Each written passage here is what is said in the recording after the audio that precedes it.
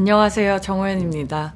크리틱스 초이스 슈퍼 어워즈에서 수상을 하게 돼서 진심으로 기쁘고 이 기쁨을 저희 오징어 게임 식구들과 함께 나누고 싶습니다. 저는 앞으로 더 많은 경험을 쌓고 한 발 한 발 나아가는 나아가서 멋진 배우로 성장해 보도록 하겠습니다. 감사합니다.